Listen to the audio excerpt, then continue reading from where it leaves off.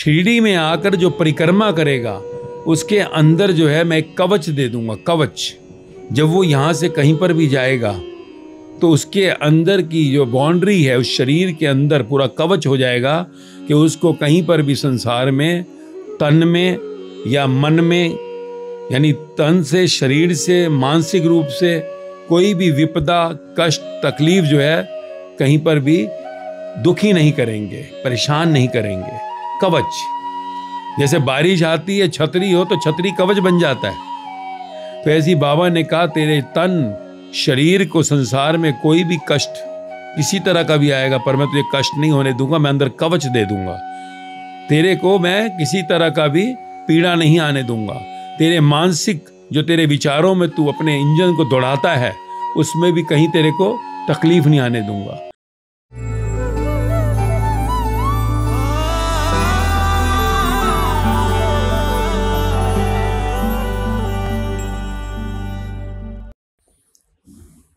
ओम साई राम।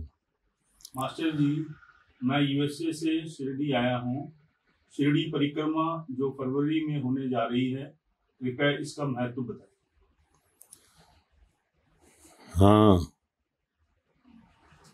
शिरडी परिक्रमा। शब्द सुनते ही अगर हम साधारण भाषा में अर्थ लें तो कोई मुश्किल नहीं लगेगा। परिक्रमा शब्द, जब भी धर्म की बात होती है तो परिक्रमा शब्द आता ही है।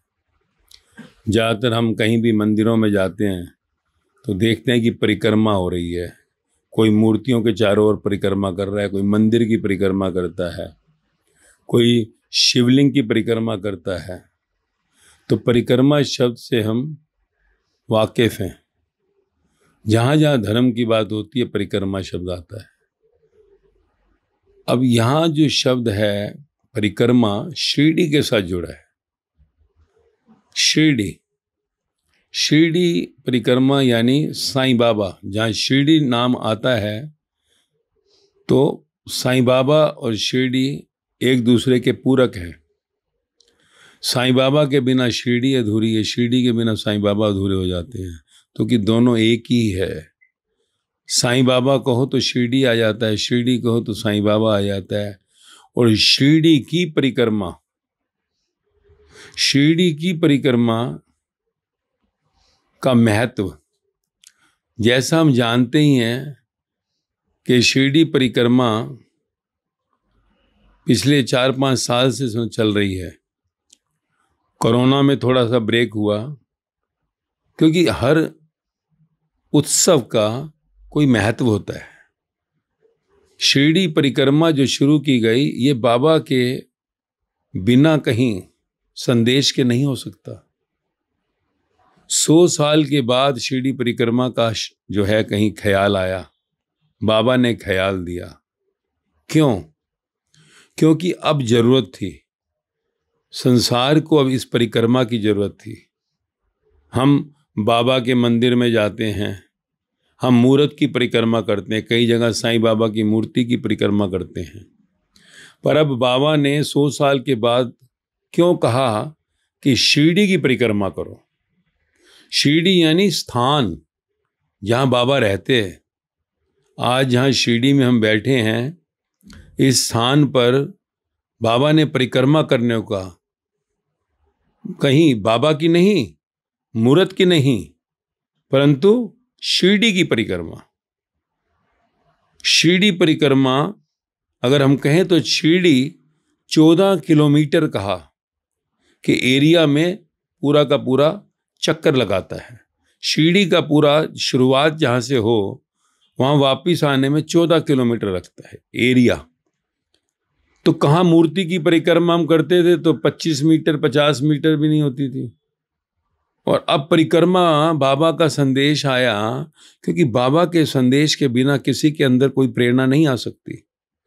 अगर ये प्रेरणा जागी कि शिरडी की परिक्रमा, क्योंकि बाबा ने कहा, अब मेरी मूर्त की नहीं, शिरडी की परिक्रमा की जाए। चौदह किलोमीटर तुझे चलना है। चौदह किलोमीटर चलना है। क्यों? कोई तो कारण होगा। क्यों बाबा के अंदर से ये आज सौ साल के बाद हमको संदेश आया कि शिरडी की परिक्रमा की जाए? चौदह किलोमीटर तुझे गोल चलना है इस परिक्रमा में। और शुरू कहाँ से करनी है? जहाँ बाबा पहली बार शिरडी में आए। खंडोबा, जहाँ पर बाबा, हम जानते ही कथा में आता है कि मालसापति जो मंदिर के पुजारी थे, जब बाबा पहली बार शिरडी आए तो वहीं पहला कदम उन्होंने रखा, पहला चरण रखा। और मालसापति ब्राह्मण के मुख से निकला, आओ साईं। तो नाम जो, नया नाम मिला साईं, वो खंडोबा मंदिर महासापति जो मालूम ही है, साईं बाबा के बहुत ही करीब रहे। जब साईं बाबा शरीर में कहीं यहाँ पर थे, सौ साल पहले।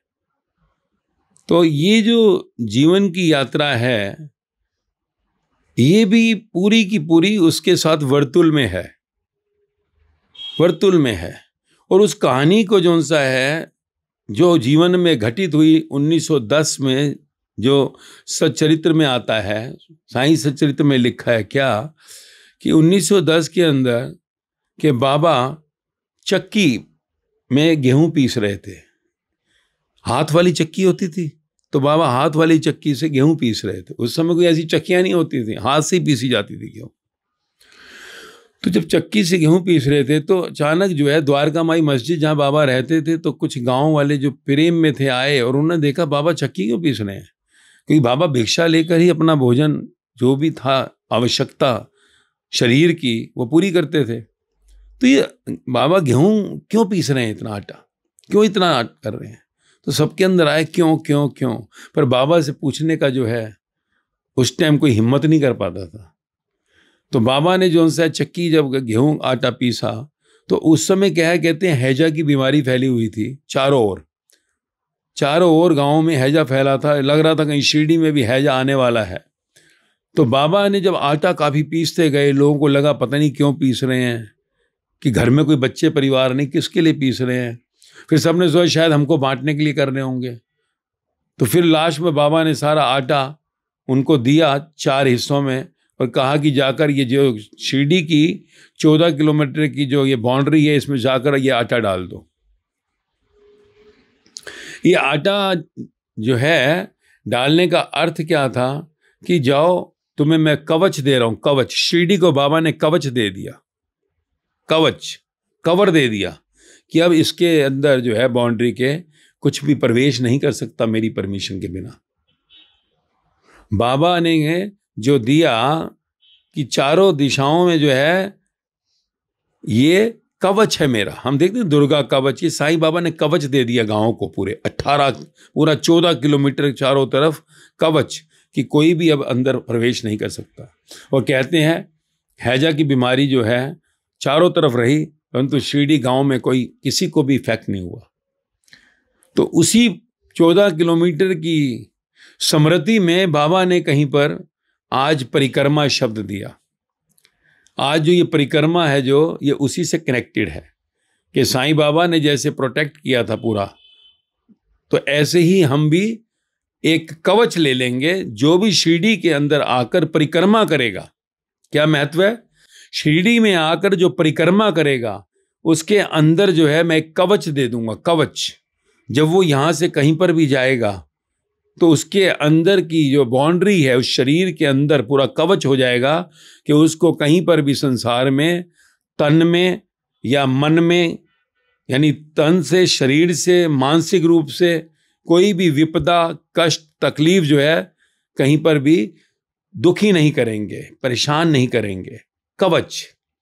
जैसे बारिश आती है, छतरी हो तो छतरी कवच बन जाता है। अगर ठंड बहुत है तो हम अगर गीजर वगैरह ले लेते हैं नहाने के लिए तो गीजर कवच बन गया हमारे लिए। गर्मी है तो पंखा, एसी हमारे लिए कवच बन जाता है, ठंडा कर देता है। तो ऐसी बाबा ने कहा, तेरे तन, शरीर को संसार में कोई भी कष्ट किसी तरह का भी आएगा, पर मैं तुझे कष्ट नहीं होने दूँगा, मैं अंदर कवच दे दूँगा। तेरे को मैं किसी तरह का भी पीड़ा नहीं आने दूँगा। तेरे मानसिक जो तेरे विचारों में तू अपने इंजन को दौड़ाता है, उसमें भी कहीं तेरे को तकलीफ़ नहीं आने दूँगा। तो ये जो बाबा ने पूरा जो खेल खेलाया, उस समय लीला रची, आज सौ साल के बाद उन्होंने शिरडी के अंदर सबको पुकारा। सबको पुकारा है कि जो भी मेरे भक्त हैं, भक्त यानी जो भी मुझे प्रेम करते हैं, मेरे भाव में हैं, वो इस समय शिरडी आए। जैसे इस बार जो यात्रा है फरवरी में हो रही तो सबको पुकारा है बाबा ने कि सब शिरडी आओ। क्योंकि जब तुम माया के अंदर संसार में, जहाँ पर भी घर में हो, शहर में हो तो तुम सिर्फ़ थोड़ी देर के लिए मेरे मंदिर में आते हो या घर में बैठते हो, थोड़ी देर के बाद उठते हो, फिर माया के रंग में रंग जाते हो। मंदिर में हो तो थोड़ी देर के लिए बाबा, और बाहर आए तो फिर माया। तो कहा, नहीं चलेगा पाँच मिनट की तेरी परिक्रमा मंदिर में मुहूर्त के आगे नहीं चलेगा। तुझे चौदह किलोमीटर की परिक्रमा करनी होगी चौदह किलोमीटर यानी कि जो अगर सुबह शुरू होगी, हम जो कहा ब्रह्म मुहूर्त में पाँच, साढ़े पाँच का जो टाइम दिया, साढ़े पाँच बजे इस बार तो वो दोपहर तक चलेगी। यानी इतने किलोमीटर, चौदह किलोमीटर तेरे को चलना है। परिक्रमा करनी है शिरडी की। शिरडी का अर्थ है तू साईं बाबा की परिक्रमा कर रहा है। क्योंकि शिरडी और साईं बाबा एक ही है। क्योंकि साईं बाबा क्यों शिरडी बुला रहे हैं? कारण है। क्योंकि शिरडी में प्राण है उनके। कहते हैं ना, प्राण, शरीर बाबा का पूरे संसार में फैल गया? मूर्त के रूप में, पर प्राण शिरडी में बसते हैं। और प्राण और मूर्त का जब संगम होता है तो कहीं परम चेतन प्रकट होता है। हम बाहर संसार में शरीर से मूर्त के पास जाते हैं, पर बाबा ने कहा, तेरे प्राण अभी तक मेरे में नहीं समाये। जैसे हनुमान जी के अंदर सिराय राम के कुछ नहीं चलता था, ऐसी तेरी श्वासों में अभी पूरी तरह चौबीस घंटे में नहीं चल रहा। जिसको अजप्पा का श्वासा दी माला, नाल सिमरा में तेरा नाम। तो तू अभी श्वासों से सिमरन नहीं कर रहा तो सिर्फ़ सुबह शाम सिर्फ़ ध्यान करता है मेरा, एक बार, दो बार, चार बार, पर हर श्वास में हो सिमरन तेरा, यूँ बीत जाए जीवन मेरा, साई साई साई साई। मुख से तू बोलेगा कितना? मन से तू बोलेगा कितना? तेरी आत्मा से तेरी श्वासों में ही मैं बस जाऊँ। इसके लिए तुझको अब शिरडी माया को छोड़कर आना होगा मेरे पास। चौबीस घंटे के लिए तुझे माया को छोड़कर मेरे पास आना होगा। ताकि तू अब जब शिरडी से जाए अपने माया के स्थान पर, अंदर वो कवच लेके जाए श्वासा दी माला लेकर जाए, उस अजप्पा स्थिति को लेकर जाए। तो इसके लिए ये यात्रा का महत्व है। कि माया में से तू घूमने जाता है, कभी कश्मीर जा रहा हूँ, कभी कन्याकुमारी जा रहा हूँ, कभी यहाँ जा रहा हूँ, चाचा जी के यहाँ जा रहा हूँ, मामा जी के यहाँ जा रहा हूँ, फलाने की शादी है, फलाने की डेथ हो गई तो 24 घंटे के लिए शिरडी के अंदर तू मुझको अपना समय दे। समय दे। घर में तू मेरे को कहीं ध्यान करता है, परंतु वहाँ तेरा समय इतना नहीं है। चौबीस घंटे मुझको चाहिए तेरे। तो शिरडी की इस यात्रा का, शिरडी परिक्रमा का ये महत्व है कि जब तू यहाँ आए तो माया तू पीछे छोड़ कर आ। और चौदह किलोमीटर जब तू चलेगा तो उसमें बहुत ही गहरा वचन है, बाबा का बहुत दूर का, जो आज सौ साल के बाद प्रकट किया, क्योंकि तू माया में इतना ग्रस्त होता जा रहा है। साईं बाबा कहते हैं, तू माया में इतना लीन होता जा रहा है कि तू बाहर से भले मेरे को कहता है, साईं राम साईं राम, पर अंदर से तू मुझसे दूर हो रहा है। क्यों? क्योंकि तेरी पाँच काम इंद्रियाँ, पाँच काम इंद्रियाँ, तेरे हाथ, तेरे पैर, तेरा मुख, सारा समय माया के अंदर ग्रस्त हो गया है। कहीं तेरा पूरी वासनाओं और कामनाओं का जो कुंड है, जिसको कहते हैं मलमूत्र द्वार वो पूरे तेरे एक्टिव रहते हैं। वासनाओं और कामनाओं में तू गिर गया है। तो ये पाँच कर्मेंद्रियाँ तेरी जो है, हर समय माया में लिप्त होने लगी हैं। तू बाहर संसार में इतना लिप्त हो गया है कि बारह घंटे काम, सोलह घंटे काम काम काम काम काम। और जब काम आएगा तो साथ में या तो राम आएँगे या वासना आएगी। अब वासना आएगी तो तू राम, यानी साईं राम से दूर होगा, ब्रह्म से दूर होगा, बाबा से दूर होगा। और वही तेरा हो रहा है। तो तेरी कामनाएँ, तेरी वासनाएँ, जो काम की तू ऊर्जा को संसार में इतनी बहार है, माया में, उसको तू विराम देगा। काम इंद्रियाँ तेरी शांत होंगी तो तू अंतर्मुखी, मुझ आत्म स्वरूप साई की ओर चलने लगेगा। तो बाहर की चौदह किलोमीटर की यात्रा में कहा, हर एक किलोमीटर के ऊपर तेरी एक एक इंद्री पर ध्यान दे। पाँच काम इंद्रियाँ पाँच ज्ञान इंद्रियाँ जो भी तेरा संसार के कर्म बनते हैं, तेरी कर्मेंद्रियाँ जो कर्म करती हैं, आँख से तो कोई रूप देखता है तो उस रूप से क्या होता है? तेरी कभी काम वासना जागती है। काम वासना जागती है, तू मुझसे दूर हो जाता है। फिर तेरे कानों से तू कोई शब्द सुनता है तो तेरा कभी क्रोध जागता है। तूने ऐसे कैसे कह दिया मेरे को? तो तेरी ज्ञान इंद्री जो है, वो फिर तेरे को कर्म करवाती है। तेरी नाक से तू गंध लेता है। उससे तेरी काम इंद्रियाँ जागती हैं क्योंकि ज्ञान मिल गया सुगंध से। तू जब अपनी जीवा का स्वाद लेता है तो फिर तेरी काम इंद्रियाँ जागती हैं। काम इंद्रिया नहीं, कामनाएँ, इच्छाएँ। सिर्फ़ वासना नहीं, कामना, इच्छा। वासना जब कोई जवान होता है तो कहते हैं, वासना शरीर से। जब कोई बूढ़ा हो जाता है तो कामना। जवान जब यानी वासना बूढ़ी हो जाती है तो कामना बन जाती है, और कामना जब जवान हो जाती है तो वासना बन जाती है। एक ही बात है। हमने क्योंकि वासना को ही कहीं कहा कि ये ही सिर्फ़ गलत है, कामना उससे भी ज़्यादा गलत है, इच्छाओं में आ सकती इसलिए देख, बूढ़े लोग जो है, घर में हर टाइम अपनी हुकूमत चाहते हैं कि बेटा मेरे अनुसार चले, बहू मेरे अनुसार चले। क्यों? ये कामना है, इच्छाएँ। अब बुढ़ापे में शरीर की वासना नहीं होती तो कामना जवान हो जाती है। तो वासना की छोटी बहन कह सकता है कामना है। कामना का बड़ा भाई है जो उनसे जो वासना है। तो काम इंद्रियाँ, कामना या वासना दोनों जागृत होती है, रूप देखता है, कहीं जीवा से रस लेता है, नाक से गंध लेता है, कान से तू जब कोई शब्द सुनता है, या जब तू स्पर्श लेता है। स्पर्श। तो तेरा वासना और कामनाओं का ये घेरा, पाँच ज्ञानेन्द्रियाँ और पाँच कामेंद्रियाँ दोनों जब योग होता है दोनों का तो अंतकरण तेरी आत्मा में जो बाबा कहते हैं, वो अध्याय सोलह सत्रह में, तेरी आत्मा, जो तेरे शरीर की कामेंद्रियों और ज्ञानेन्द्रियों को चला रही है वह जोत जिसको एनर्जी का, कॉन्शियस का, उस आत्मा से तू दूर हो जाता है। इसलिए कहा तेरे अंदर जो है, अंतकरण, बाहर का हार्डवेयर पाँच कामेंद्रियाँ, पाँच ज्ञान, पाँच कामेंद्रियाँ, पाँच ज्ञानेन्द्रियों से तेरा दिखाई दे रहा है। स्थूल, कान, नाक, आँख, मुँह, त्वचा और कहीं तेरे हाथ, पैर, मुख मलमूत्र का स्थान। इन पूरे पहाड़ के हार्डवेयर के लिए अंदर जो सॉफ्टवेयर लगा हुआ है, जिसमें कि मन, चित्त, बुद्धि और अहंकार जो दिखाई नहीं देता। दिखाई नहीं देता, सॉफ्टवेयर कहाँ दिखाई देता है? हार्डवेयर को चला रहा है तो मन, वो विचार जो मैं, मेरा के घेरे में पड़े हैं। मैं ये चाहता हूँ ऐसा हो जाए, मेरा हो ऐसा कैसे नहीं होगा? मैं चाहता हूँ, तूने क्यों नहीं सुना? सुनती नहीं क्या? मैं ये, मैं वो। तो वो क्रोध, वासना, रूप देखा, भोग लू मैं। तो ये अंदर तेरे चित्त में, तेरी कॉन्शियस में, तेरी एनर्जी के अंदर जो बह रही है पूरे शरीर में, उससे तेरी चित्त के अंदर मन के विचार इकट्ठे होते हैं। मैं ऐसे कर दूँगा, मेरा ऐसे हो जाए। मन है मैं, मेरा का जमघट, विचारों का जमघट और चेतना, वो चित्त जिसमें एनर्जी बह रही है। और फिर उससे क्या होता है? बुद्धि कहती है हाँ हाँ कर दे इसको बराबर। चल चल, भोग ले इसको। ये कर, ये ना कर। बुद्धि जो राइट एंड रॉन्ग करती है। और उससे क्या होता है? फिर आखिरी में जब तू जीत जाता है, पा लेता है कुछ बंगला, गाड़ी, दौलत, अहंकार आ जाता है, मेरा मेरा। तो ये मन, बुद्धि, चिंत, अहंकार अंतकरण का सॉफ्टवेयर जब तेरा बाहर की कर्मेंद्रियों ज्ञानेन्द्रियों को सही सदुपयोग नहीं करता, जब वो जानता नहीं है कि इस शरीर में हाथ, पैर, मुख, मलमूत्र का स्थान, आँख, कान, नाक, मुँह, त्वचा, ये सब तुझे परमात्मा से मिले हैं। आज पार ब्रह्म बैठे परमात्मा, चाहे साईं बाबा से मिले हैं।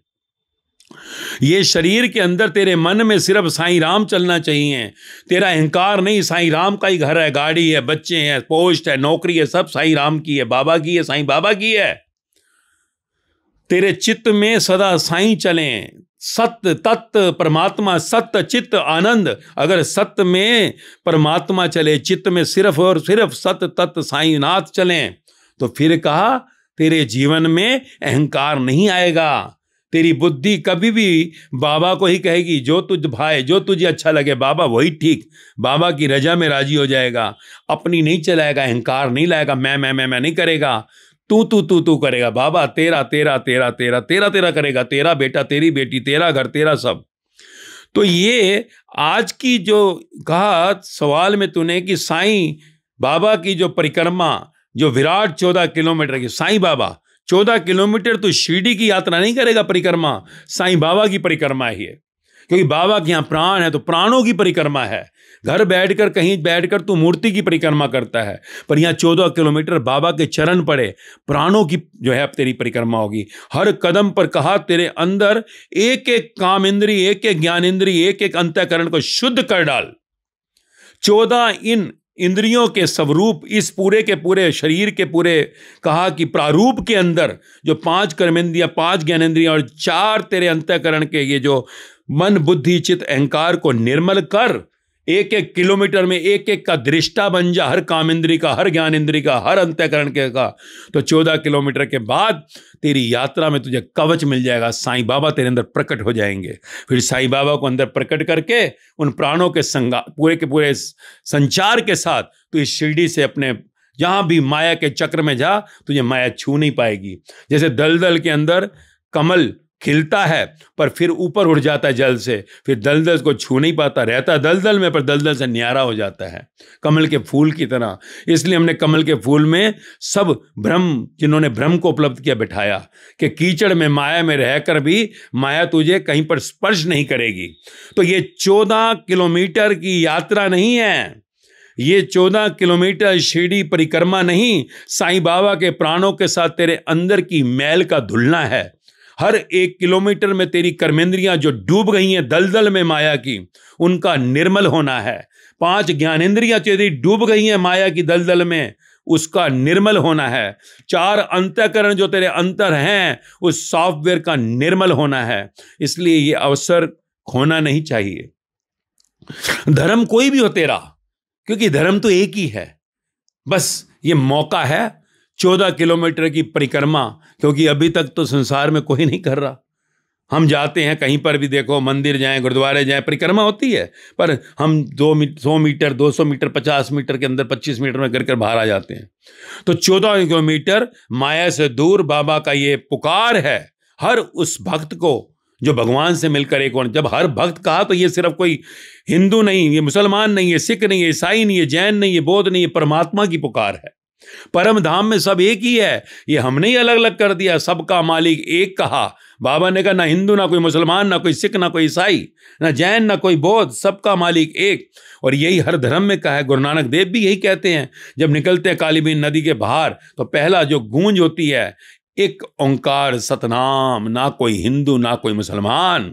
यही जीजस ने कहा God is one love your neighbour neighbour पड़ोसी कोई भी हो तेरा, हिंदू हो, मुसलमान हो, सिख हो, जै, ईसाई हो, जैन हो, बौद्ध हो, कोई भी धर्म का हो, यहाँ तक कि जड़ भी हो, सबको प्यार कर love your neighbour why love is God Jesus कहते प्रेम ही परमात्मा है। घृणा नहीं, तेरे अंदर तो घृणा पड़ी है, आसक्ति पड़ी अटैचमेंट पड़ा हुआ है तो कैसे होगा? तो बाबा का ये संदेश, और वो जो चक्की में कहा, उन्होंने चक्की से पीसा, क्या? कि बाबा का ज्ञान, जो कहा ना जो चक्की पीस रहा है तो वो बीच में जो कहा, जहाँ डंडा है लगा, उस पासे को ले ले। तो ये बीच जो दो पाटों के बीच में तू पीसेगा नहीं। भक्ति जब बाबा के वचनों को तू जीवन में उतारेगा, और अंदर तेरे जोन सा है, हर पल बाबा आ जाएँगे। तो ज्ञान रूपी गंगा से जो ज्ञान मिलेगा, तुझे ज्ञान ही दिया बाबा ने सचरित में क्या दिया? ज्ञान दिया, आत्म ज्ञान दिया। कि आत्मज्ञान की जब तू गंगा में स्नान करेगा तो भक्ति के पाठ से तेरे कर्म जो संसार में जो भी तू करेगा वो मैं मेरा में नहीं होंगे। मैं मेरा में तेरा किया हर कर्म, तेरा बदकर्म हो जाता है। जब तू अकड़ता है कि मैं मैं ऑफिसर मैं डॉक्टर मैं इंजीनियर मैं बिजनेसमैन मैंने ये किया, मैंने वो किया, बाबा कहता है, सिर के बाल से पाँव के नखून तक तेरा क्या है भाई? कहाँ से लाया आँख? कहाँ से लाया? दिल्ली के आँख प्लेस से कहाँ से लाया तू ये दिमाग? पता लगे ना, वाशिंगटन से लाया है।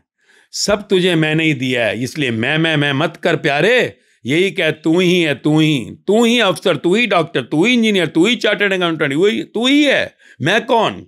जब तू है तो सब कुछ मेरा ही है तो तेरा तेरा तेरा तेरा। तो ज्ञान से तेरे जीवन में मैं, मेरा मिटेगा, और फिर तेरा हर कर्म तू तेरा से जब होगा तो सतकर्म बन जाएगा ब्रह्म कर्म फिर तू मुझमें लीन होकर एक हो जाएगा। तो ज्ञान का मुट्ठा पकड़कर बाबा कहते हैं, मैंने भक्ति के उस पाठ से जब तू भक्ति में मेरे आएगा, तू तेरा में आएगा, तेरे हर कर्म को पीस डालूँगा। यही प्रसाद 1910 जो कहा बाबा ने कि तेरे इन कर्मों को कब तक मैं जलाऊँगा, जब तक तू मेरे हाथ से अपना हाथ ना दे देगा। मेरे हाथ में अपना हाथ दे दे तो उस मुट्ठे पर बीच में तू रहेगा। माया की दलदल में कहीं पर भी तू अटकेगा नहीं। तो यही कामेंद्रियाँ ज्ञानेन्द्रिय और अंतकरण के चार जो तत्वों के साथ चौदह के पार आने के लिए चौदह किलोमीटर की यात्रा में शिरडी महायात्रा कह सकते हैं। इस परिक्रमा में तुझे पुकारा है बाबा ने।